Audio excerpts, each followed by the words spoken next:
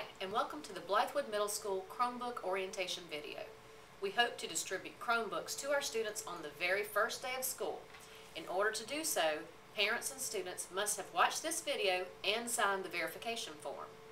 You must also read and sign the District Acceptable Use Policy known as the RUP. This form can be found on Parent Portal and you will receive instructions from the Richland 2 IT department on how to access this form electronically. Now, let's talk about the actual device. In an effort of continuous quality improvement, we have made a transition to the Lenovo Chromebook in hopes of utilizing a device in our classrooms that will offer a more authentic resource for our students. Students will be issued three items, the Chromebook, the power source, and a carrying case. The carrying case will not be black, it will be red. As in years past, it is the expectation that every student bring the device and the power source to school each day fully charged and appropriately maintained. Students, the Chromebook must be inside the carrying case at all times except while in use in the classroom or other designated areas. Also, I know this is an easy mistake to make, but remember to always pick up or carry the device by the bottom and do not pick it up by the screen. This will decrease the likelihood of damage. With one-to-one computing, the district issued a device protection plan, now known as the Computing Device Management Plan.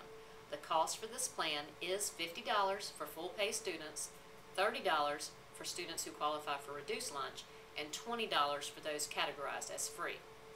Blythewood Middle School is a take-home device school.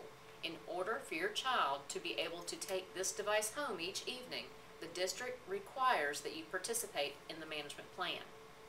The details of the plan can be located in Parent Portal as part of the RUP. The management plan fee will appear on your child's school fee sheet. In order for your child to receive the Chromebook on the first day of school, all of this fee must be paid. If you are in a hardship situation, you may fill out a payment plan form at Charger Kickoff where you pay your fees.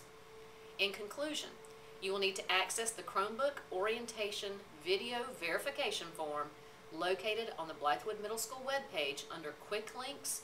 Your next step would be to access the district's acceptable use policy, again known as the RUP, with management plan in PowerSchool once the district has made it available. You will need to sign it electronically, showing that you and your child understand the rules and regulations surrounding our district devices. Finally, pay for the management plan when you pay your child's school fees at Charger Kickoff or to our bookkeeper, Mrs. Lee Powell, anytime following. Please know that you certainly have the right to opt out if you do not wish for your child to bring the device home. We hope this answers some of your questions regarding our technology implementation for the upcoming school year. Feel free to contact our Blythewood Middle School ITS, Mrs. Helly Shelley, with any other questions about the device. We hope that you have had a wonderful summer and we look forward to seeing everyone soon.